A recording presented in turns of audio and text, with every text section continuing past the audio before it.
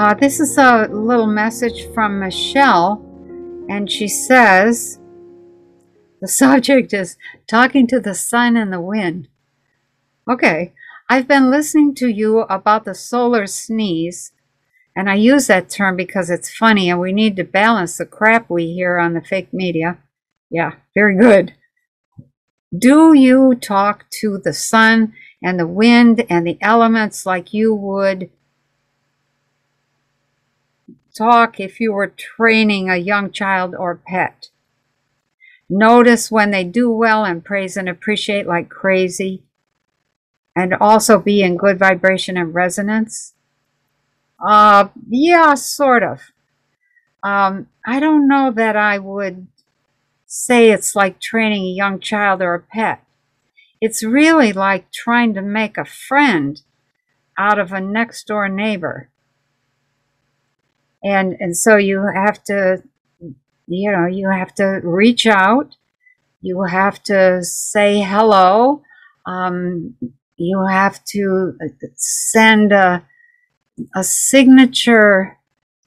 I, there are signatures that individuals have um, with sun or wind or rain or whatever.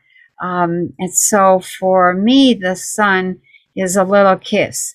And this kiss is in the form of a, a little heart with wings. And and so I, I say to the sun, good morning. And I blow that kiss toward the sun. And at the same time, I envision this little heart with wings flying right to the sun, landing on the surface of the sun, and then, you know, kissing all over and saying, Hi, how are you today? It's me. I'm down here in Southwest Michigan or wherever I happen to be.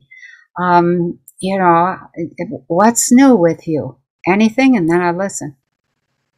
Um, what are you doing today?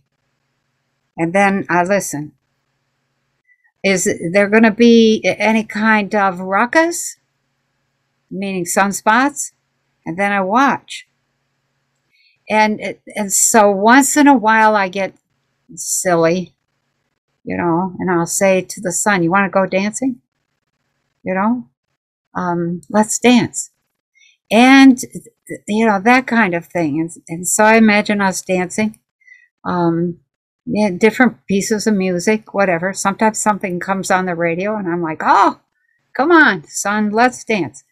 Um, or i'm just i'm in a hurry i'm going out to get in my truck.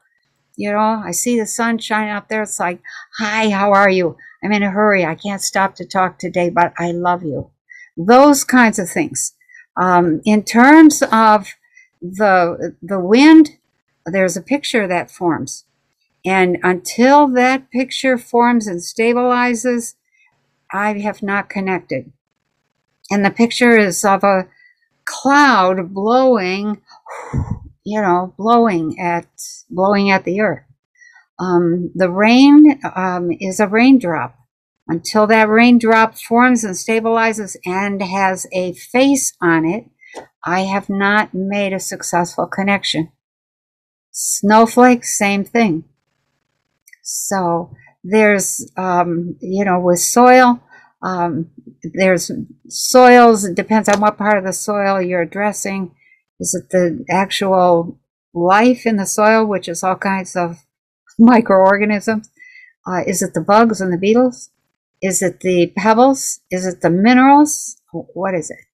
Um, so you just, you know, you create a, a visual that stands for or that indicates to you this is my visual that I want to see when you have heard me, when you are listening to me, or when we are actually in communication. And that's it. And then you just have a normal relationship. And a lot of times there's no point to it other than to communicate love, other than to further the relationship. When, you know, that goes on all year round. So come summertime, June, and now we're getting into the tornado and storm season. Actually starts in May.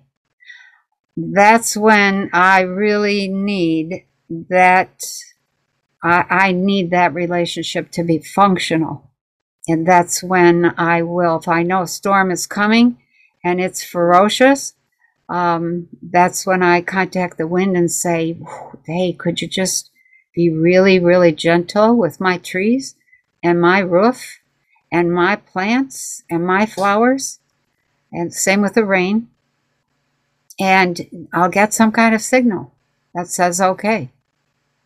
So um, it's that kind of thing.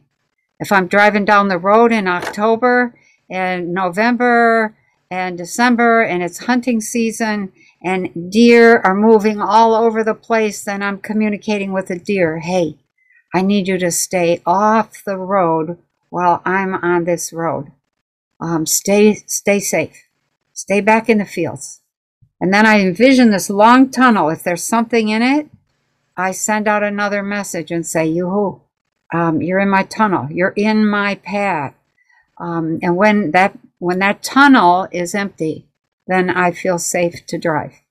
So, and I think driving is a terrible destruction of animals, birds, bugs, animals, possums, coyotes, uh, deer, fox. Oh my gosh, cats, dogs, you name it.